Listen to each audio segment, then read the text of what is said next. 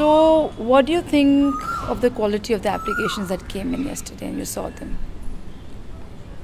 The quality of the applications was very varied.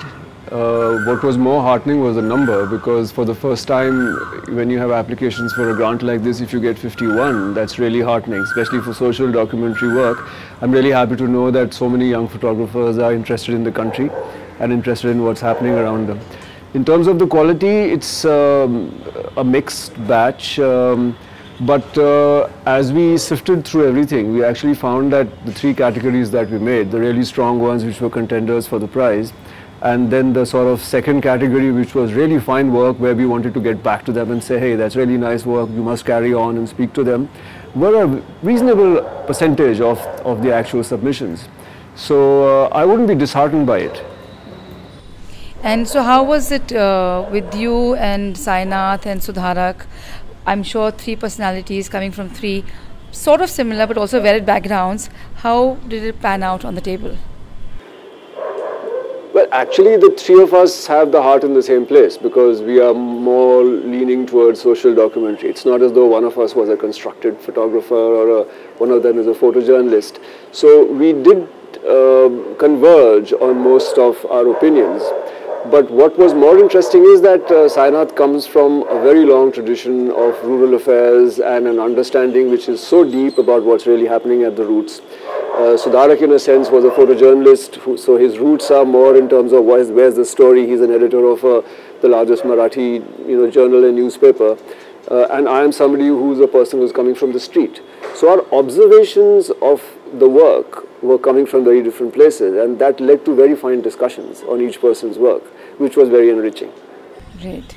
Uh, so, do you think it's important for grants to be given uh, on social documentary? Oh, absolutely. It's the most important field. Um, it's a dying field in a sense because more and more people are pushing towards trying to selling their photographs through galleries or through grants or to uh, you know festivals. So the number of pictures that they think of are becoming smaller and smaller. They'd rather hang 12 in a small wall, but in a collection of 12 photographers who are showing at a foreign festival, you see.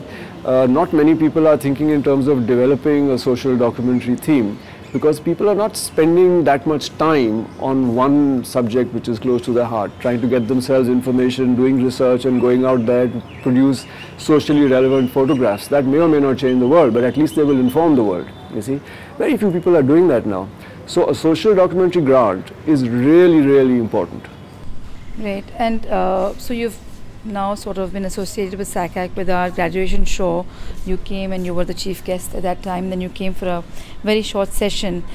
And of course, you believe in the documentary genre. So, how important do you think it is for a school like SACAC to sort of give that education?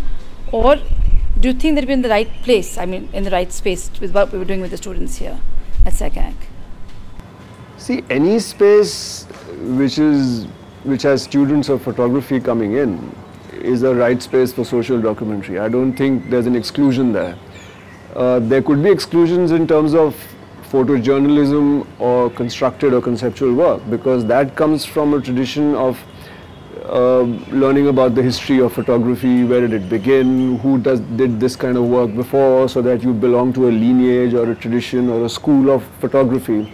On the other hand, social documentary, luckily, has no such uh, burdens to carry, you know, because a person does not necessarily have to uh, know the history of photography or understand cameras all that well if he's a social documentary photographer. He just has to have the information, he has to be an intelligent and observant person, he has to have his heart in the right place, and he has to be really interested in the human condition.